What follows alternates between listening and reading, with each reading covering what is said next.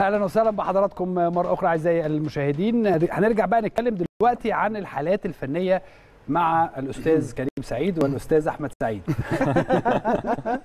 أنا غلطت طبعا في الأول قلت كريم ثابت وأحمد ثابت فيعني لازم نصلحها يعني هنتكلم فنيا نعم. وجماعيا أكتر آه هنتكلم الأول على التشكيل المتوقع من وجهة نظري الدحيل هيلعب بيه بكرة والطريقة كمان معلش أنا غيرت لكم الحلقة النهارده آه. لأنه أنا الحقيقة شايف نعم. إن مساندة الجمهور للاعبين لازم تبقى مساندة كاملة طب وجهة نظري يعني طب. بالتالي أنا أنا مش عايز أتكلم عن النادي الأهلي النهارده لأن إحنا عارفين كل حاجة الناس عارفة كل حاجة عن النادي الأهلي وبالتالي. النهارده هيبقى معظم كلامنا أو كل كلامنا تقريبا عن نادي النادي البحيري القطري نعم. طيب خلينا نروح للشاشة علشان برضو اتفضل هنتكلم جماعيا بقى كريم آه بالظبط. آه. إحنا هنبدأ طبعا كلامنا على التشكيل ونشوف يا كابتن وجهة- متوقع من وجهة من وجهة نظري كريم من, سعيد. من وجهة اتفضل. نظري الشخصية أنا شايف إن صبري لاموشي في مع قدام النادي الأهلي هيبقى أقرب له إنه يوقف لعيبته بطريقة أقرب إلى ال 4 2 3 1 ونتكلم بقى على التوظيف. طبعا صلاح زكريا حارس المرمى إحنا اتكلمنا كتير وما فيش خلاف على الاسم ده في مركز حراسه المرمى. وطبعا أكيد هو عنده مشاكل وإن شاء الله نقدر نستغلها سواء بالتسديد أو بالأمور الأخرى. في الدفاع في وجهة نظري الشخصية شايف الاثنين مساكين هيبقوا أقرب إلى أحمد ياسر المحمدي ليه؟ لعيب سريع لعيب طويل لعيب هداف وكمان بيكمل في الدور الهجومي فبالتالي أكيد وجوده مهم جدا في خط الدفاع. اللاعب الثاني اللي يلعب جنبه مهدي بن عطية لاعب دولي لاعب خبرة كبيرة جدا لاعب مباريات بالقوة دي كتير ويقدر يتحمل الضغوطات وبالتالي جدا. طبعا وبالتالي وجوده مهم جدا في المباراة دي. على الطرفين أكيد ال left back عنده أو ال back الشمال هيبقى الأقرب سلطان البريك من وجهة نظري لأن هو عنده المفروض عنده قدرات دفاعية أكتر من علي عفيف البديل بتاعه اللي طيب دايما بيطير واتكلمنا عليه كتير الناحية الثانية طبعا ال back اليمين اللي عنده الثغرات بس.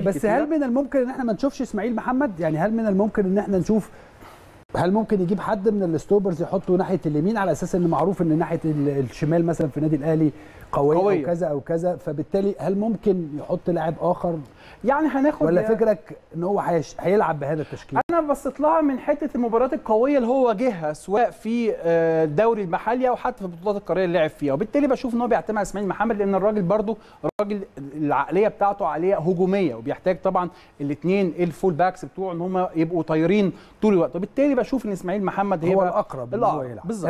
في نص الملعب طبعا ال half defender البرازيلي لوبيز آه، جونيور بيبقى متأخر سنة ضامم على ورا عشان يعمل التأمين الدفاعي في قلب الملعب وعلي كريمي اللاعب الإيراني المميز طبعا هو اللي بياخد دور آه، طيب في, رقم 8 في النقطة دي بوضياف برضو واحد من اللاعبين اللي كان. بيعتمد عليهم بشكل كبير بس طبعا. هو بقى له فترة غايب بالظبط. ولكن ضمه إلى آه، القايمة. ال- القايمة الرئيسية لا وبالتالي هل ممكن نشوفه أشوف يا كابتن اسلام إن اعتماده الاثنين في خط الوسط لما بيلعبوا مع بعض لفتره طويلة وبيكونوا ما يشبه الثنائية فالثنائية طول ما هي ماشية بشكل جيد أنا ما أقدرش أغير أغير. فيها أو ألعب okay. فيها ممكن أزود معاهم واحد ثالث زي ما حضرتك كنت بتشرح أيوة. في امبارح واول امبارح في نقطة مهم جدا إزاي تقفل قلب الملعب قدام اثنين مساكين آه ده ممكن ولكن طالما الاثنين دول شغالين بشكل كويس هم دول اللي يكملوا بشكل أساسي خصوصا طبعا تمام. المباراة مباراة نروح مهمه بقى للرباعي الأهم آه اللي فيهم الأزمة بقى اللي فيهم آه. آه. معز علي بيلعب second striker ولا بيلعب راس حربة تاني إيه الفكرة اللي بيعملها صبري لموشي أيوة. في الرباعي الامام ببساطة اتفضل.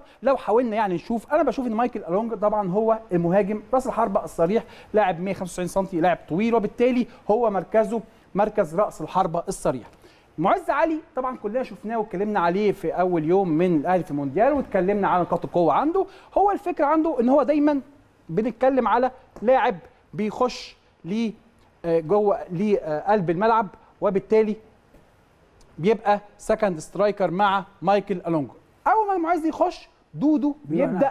يتحول على ال- الطرف ويعمل ما يشبه اللعيب الجناح. ليه بقى؟ لأن دودو عنده الميزة بتاعة إن أنا آخد الكورة على الطرف وأبدأ أشوف بعينيا الملعب بشكل كامل وأبدأ أخترق سواء إن أنا النهارده أرقص أو أخش على قلب الملعب وأسدد في الزاوية وهنا حتة. دفاعية بقى نعم. لو اللي هيلعب back right في النادي الأهلي ما يخشش بقى مع المعز لغاية جوه لأنه طب- هنا طب. بيفضي المكان ده وأكيد طبعا هيبقى مهم في جداً واجبات دفاعية طبعا على الجناح اللي قدامه. إنه يغطي مع كده. ال full back ويجي هنا برضو الدور بتاع ادميلسون جونيور اللاعب البرازيلي الجناح البرازيلي الآخر اللي ما بيشوف بقى دودو دخل للطرف اليمين والمعز عمل shifting معاه ودخل كراس حربة تاني جنب أولونجا يبدأ هو يلعب دور ال playmaker ده بيخش تحتهم. بيخش تحتهم okay. وتنقلب الخطة في بعض الأحيان ل 4 4 2 flat ويعتمد على الكرات العرضية إذا فشل في التسديد ده أعتقد الفكرة آه، صبري لموشي في الرباعي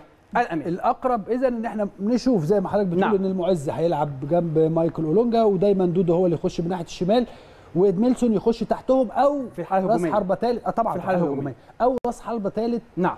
آه، مع آه، مايكل أولونجا والمعز علي. وضعا في الاعتبار بقى كابتن اسلام أنا آه. ليه بقول إن الطريقة لازم تبقى أقرب ل 4 3 1 لأن هو في الحالة الدفاعية هيبقى محتاج إن المعز علي يرد. أيوة، مع سلطان البريك ومحتاج جدا جدا ادميلسون جونيور يرد مع إسماعيل محمد حتى لو إدى واجبات دفاعية للوبيس جونيور إن هو حتى ممكن يعني يتطرف شوية يقول له إيه آه، إسماعيل. محمد عنده مشكلة فحاول أنت تقفل معاه شوية فلا أنا أعتقد إن هو هيلعب بالطرفين وبخطة 4 2 3 1 سؤال نعم. لو الأسماء دي اتغيرت بمعنى إن مايكل أولونجا نعم. بلاش مايكل أولونجا لأن مايكل اولونجا صعب إن هو يتغير. صعب إن هو يتغير ولا معز. لكن معز نعم. علي مثلا ممكن يلعب تحت بحيث إن هو يبقى يكمل ودودو يلعب ناحية الشمال إدميلسون يخش جوه ودودو يجي ناحية اليمين هل ده ممكن نشوفه؟ ده ممكن في حالات استثنائية لكن ما تقدرش تشوفه بالحالة الطبيعية للفريق ليه آه. لأن لو الفريق النهارده معمول عليه هجمة منظمة من النادي الأهلي صعب جدا إن دودو يدافع يبقى عنده أزمة. المعز علي في الدفاع أقوى منه بكتير وأسرع كمان صح. في الارتداد. فلو هو عمل دي هنا يبقى ده أمور استثنائية. بمعنى إيه؟